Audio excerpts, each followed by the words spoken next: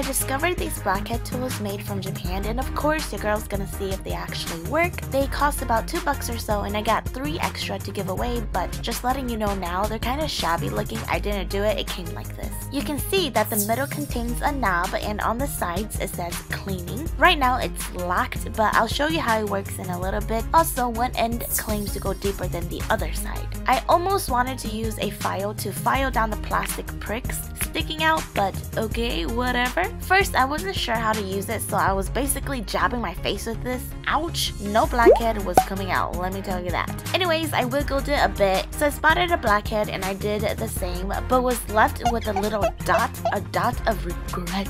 I decided to go back to my nose where my pores were the softest, and surprisingly, I actually got things out. It looks like I almost broke my nose though.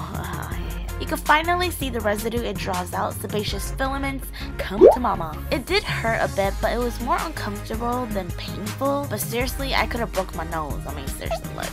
Just kidding. Anyway, here's a side shot so you can see how gunky things got. And guess what? I was doing it wrong. It turns out you're supposed to be swinging it left and right you earhead. Now, remember that stubborn blackhead? With the sway method, it actually worked. And like I mentioned, when you want to dispose the funky no trunk, you swipe the tab to the sides, and when you're done, just lock it in the middle. All in all, I think nose strips work so much better, but for a dollar or two, this is actually cool. And it works to a certain extent. So if you do want to try these, I don't blame you if you don't. Just comment below with your Instagram or Twitter so I can reach you and make sure to be a subscriber. Don't forget to like this video for moral support support. Until then, I'm sending love. Bye. 언제부터였는지도 몰라 따뜻하게 기가 있던 것도 아냐 첫인상이랄 것도 사실 첫인사도 잼민지 기억도 잘안 나.